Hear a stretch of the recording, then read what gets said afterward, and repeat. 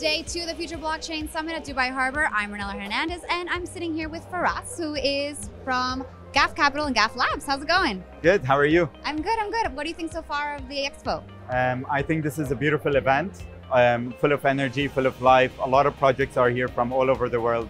I've met a lot of projects that um, it's their first time actually in the region. So I'm very happy. Where are you based? Who? You. Uh, we're, we're, we're based in Dubai, Okay. Um, but um, I was talking about like a lot of projects I saw from outside of Dubai in here for their first term. Yeah, yeah. And are there any insights that you can share with us? Something you've learned from any conversations you've had? I think there's a lot of exciting things in the market. The biggest players in the Web3 space right now are all based over here. So I think any conversation you have with them, you can get some good insights. Um, and yeah, All right. So tell me a little bit more about Ghaf Capital and what the mission is behind the private investment firm. excellent.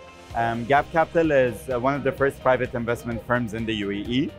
Uh, currently, we have invested in over 75 different portfolios. Um, uh, the likes of like Polygon, One Inch, Layer Zero, Guild of Guardians, all, all sectors of the Web3 industry. Um, uh, uh, and our key focus is to support these projects, um, help them grow, help them get access to the MENA region. Um, and we have a team that supports all these projects and speak to them on almost um, a, a- very regular basis. And what's the strategy right now, given the current market conditions? Um, so right now, um, uh, um, the strategy is to build, to put your heads down, and to focus on the projects, supporting them, seeing what's missing with these projects, um, and all our port codes, um, and um, seeing if we're able to give a, a, a helping hand to them and um, help them achieve whatever they need to achieve in this bear market. But how do you choose companies to invest in? So we have a long list of DD process that we look at. We look at the team. Um, uh, we look at um, who are the founders, what experience do they have, what background do they have, um, what's the structure of the team like. We look at their community. Is it active? Is it um, dormant? Um, how big is it? We look at um, uh, um, is it a real use case? Is the project is it solving something in the market? Um, uh, will it can it become a market leader?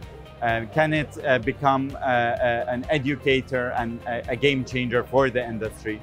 Um, we also look at so many different aspects, such as we look at their P&L, like what the Web2 space says. We look at their financial statements. We look at their numbers. Can they achieve their goals? Um, uh, what's their runway like?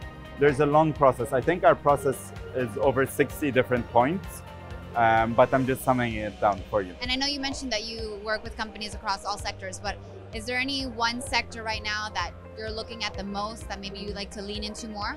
So I'm not a financial advisor, um, but um, uh, currently um, we're, we're looking mainly at infrastructure projects, layer ones and layer twos. Can you give some examples? Um, uh, Sui Network, Boba Network.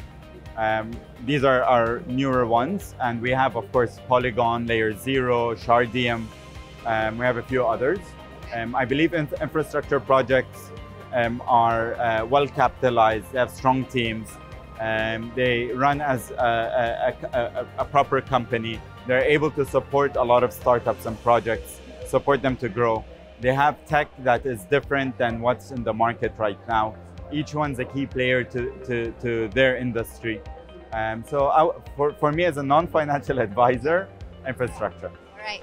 And what are some of the biggest pain points right now within the industry that you think we need to address the most? regulation. Um, um, we need to safeguard the investors. We need to safeguard the retail. We need to safeguard the founders. Um, and um, safeguarding all these different aspects comes from regulation with education.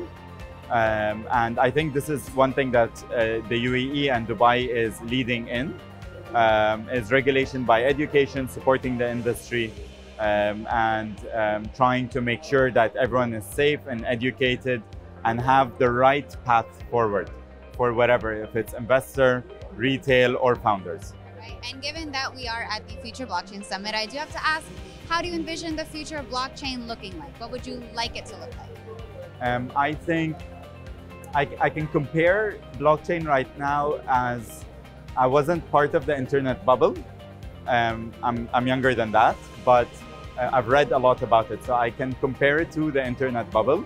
Initially, when the internet first started, similarly with the blockchain, a lot of startups um, uh, emerged, a lot of funds has entered the market, um, and then it stabilizes um, and uh, the bigger players uh, grow further. Startups learn from the bigger players, learn from the regulators and regulation, and um, everyone becomes a more stabilized um, uh, economy.